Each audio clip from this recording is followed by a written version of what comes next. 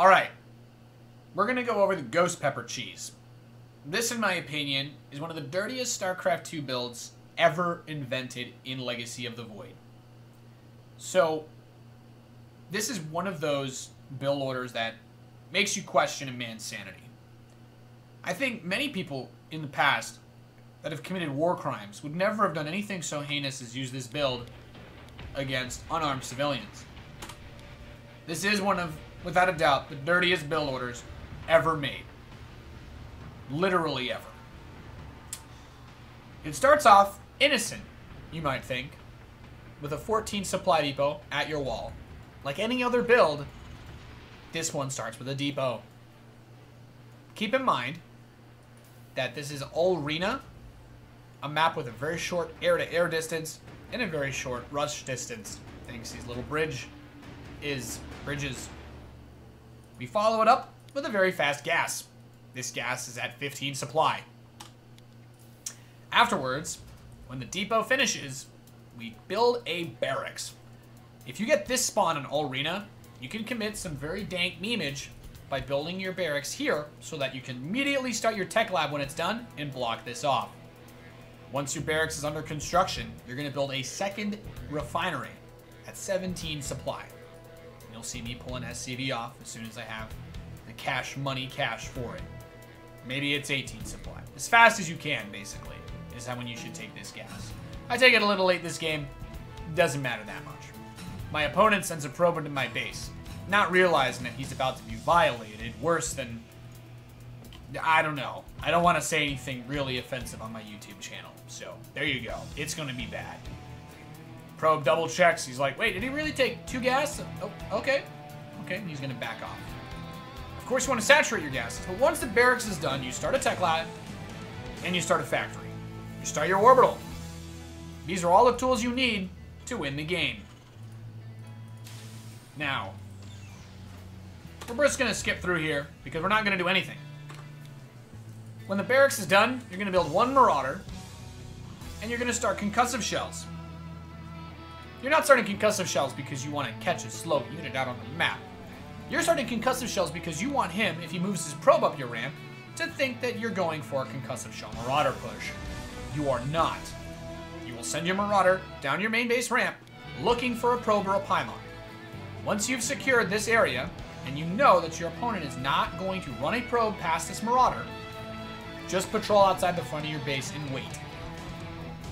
Once your factory is done, move it on to the tech lab. You're going to immediately build a Cyclone and start the Mag Field Accelerator upgrade. This causes Cyclones to do 800 damage over 17 sec seconds to any armored unit, including pylons, mothership cores, and um, don't say anything offensive. Any armored units. You're floating your barracks across the map because this map has a very short rush distance by air. Your barracks can get there quickly enough to spot. In this game, I throw my Marauder away, trying to deal some light harass and bait out a Photon Overcharge, see what they've got. Marauder is not a core component of this build. This Marauder will allow you to defend against any proxy gateway strategy that your opponent may try to use against you. Once your Cyclone is out, you're going to keep building Cyclones. I like to send some SCVs to repair. I also like to start an engineering bay as soon as I have the money so that I can get a turret in case my opponent's doing something weird, like proxy Stargate or proxy memes. God knows how dangerous those can be. So the barracks comes over. Suddenly, you have a high ground spotter for your Cyclone. The Cyclone's lock-on range, as we can see, is far longer than its vision. The Cyclone here can see up to this point, but it can theoretically attack anything uh, this far away. So something right here, the Cyclone would need a spotter for, much like a siege tank. In that case, it's our barracks. You can photon overcharge, 420 overcharge this pylon as much as you want. It will never shoot your Cyclone. And thankfully, your barracks has a thousand hit points, so good luck killing it with pylons.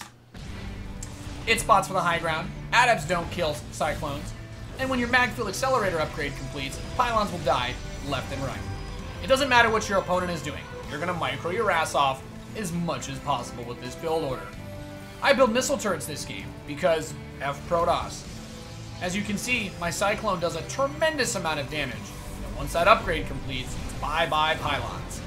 Bringing SCVs to repair is always crucial, as Cyclones are quite literally the glass cannon for Terran in StarCraft II Legacy of the Void. Of course, it's important to have that barracks spotting buildings like this so you don't take too much damage. Just walk on, step out of range, and watch the Protoss tears start to pile up inside their base. I've defeated players that have gone for fast Stargate, fast Robo, fast Dark Templar, and even fast memes. I have not lost a single game with this build. Ever. I have actually not lost a single game when opening up with this build order versus Protoss. Although, of course, that's also because I only do this build on Ulrena and Prion Terraces. You just keep microing. Your barracks sits here, giving vision, and you slowly chip away. You just rally your factory to the enemy's base. You'll slowly bank up minerals, start a command center, start a church, start a fundraiser for the poor kids that don't have minerals. Do whatever you want with it. I don't care. And you'll see your opponent slowly crumble because Cyclones wreck Stalkers, they wreck Void Rays, they actually wreck Immortals if you can kite against them, and they wreck Pylons.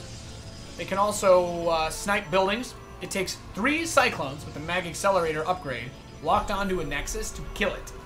That's right. If you lock onto a Nexus with three of these puppies, it's dead. Like, actually, it's gonna die.